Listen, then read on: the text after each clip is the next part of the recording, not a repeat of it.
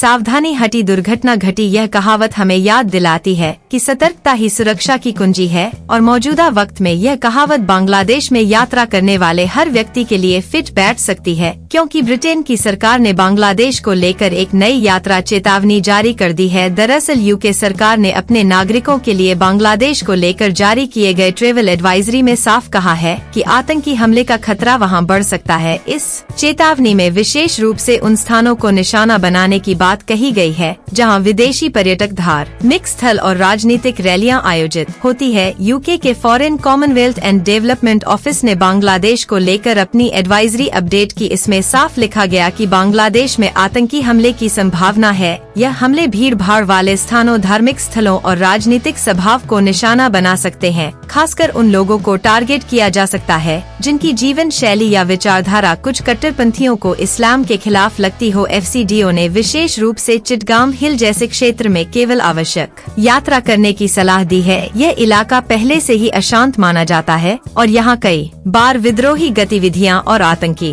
घटनाएँ दर्ज की गई हैं। बांग्लादेश में अल्पसंख्यक धार्मिक समुदाय और सुरक्षा बलों पर हमले की खबरें समय समय पर आती रहती हैं। हाल के सालों में आईईडी यानी इम्प्रोवाइज एक्सप्लोसिव डिवाइस का उपयोग बड़े शहरों में किया गया सुरक्षा बल और पुलिस अक्सर इन हमलों का निशाना बनते हैं बांग्लादेशी प्रशासन ऐसे हमलों को रोकने के लिए सक्रिय है, लेकिन खतरा अभी भी बरकरार है एसीडी की एडवाइजरी में स्पष्ट रूप से बताया गया है कि भीड़ भाड़ वाले इलाकों, धार्मिक स्थलों और राजनीतिक रैलियों से बचे पुलिस और सुरक्षा वालों के आसपास सतर्क रहें, किसी भी बड़ी सभा या प्रदर्शन से दूरी बनाए रखें। स्थानीय प्रशासन की सलाह का पालन करें। हालाँकि बांग्लादेश एक खूबसूरत मुल्क है, लेकिन वर्तमान परिस्थितियों में यात्रा करना वहाँ पर जोखिम भरा हो सकता है। विशेष रूप से ऐसे समय जब सुरक्षा बलों की उपस्थिति अचानक वहाँ या यात्रा पर प्रतिबंध लगाया जा सकता है। आतंकवाद किसी भी देश की सुरक्षा और आर्थिक स्थिति पर बुरा प्रभाव डालता है। बांग्लादेश में इन खतरों के बावजूद प्रशासन लगातार योजनाबद्ध हमलों को